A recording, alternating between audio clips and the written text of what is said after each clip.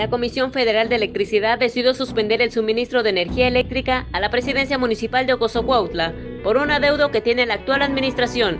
Sin embargo, por órdenes del alcalde Alfonso Estrada Pérez, trabajadores del umbrado público pusieron diablitos en el edificio de Palacio.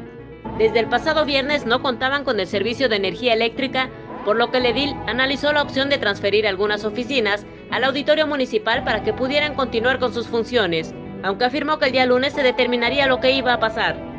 Al interior del ayuntamiento el lunes por la tarde conectaron el suministro de manera ilegal para que el área de la Secretaría Municipal pudiera tener energía eléctrica y así seguir despachando.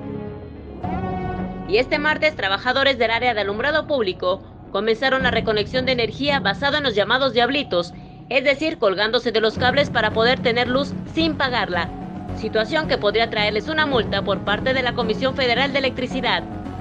Con información de Bruno Hernández, Diario de Chiapas Televisión.